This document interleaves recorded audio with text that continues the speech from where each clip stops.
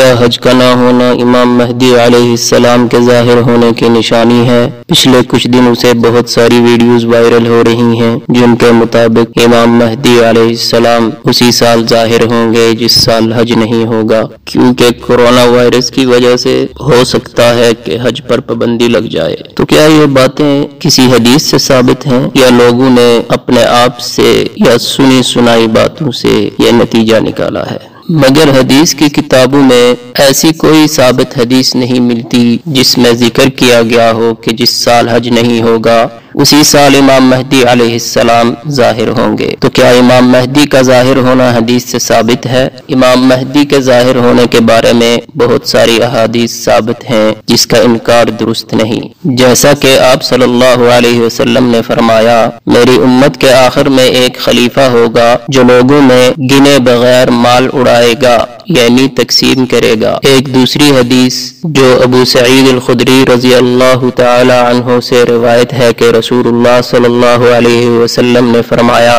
میری امت کے آخر میں مہدی آئے گا، جس کے لیے اللہ تعالی بارش نازل فرمائے گا اور زمین اپنے نباتات اگلے گی، عدل و انصاف سے مال تقسیم کرے گا، مویشی زیادہ ہو جائیں گے اور امت کا غلبہ ہوگا، وہ اپنے ظہور کے بعد سات یا آٹھ سال زندہ رہے گا۔ ہر مسلم مہدی علیہ السلام کے بارے میں یہ عقیدہ رکھتا ہے کہ وہ قیامت کے قریب پیدا ہوں گے، وہ سات سال تک حکومت کریں گے۔ وہ زمین کو عدل و انصاف سے بھر دیں گے۔ ان کے زمانے ہی میں حضرت عیسیٰ علیہ السلام کا نزول ہوگا۔ حضرت عیسیٰ علیہ السلام آپ کی اقتداء میں نماز ادا کریں گے۔ امام مہدی علیہ السلام حضرت عیسیٰ علیہ السلام کے ساتھ مل کر دجال کا مقابلہ کریں گے اور اس کو قتل کریں گے۔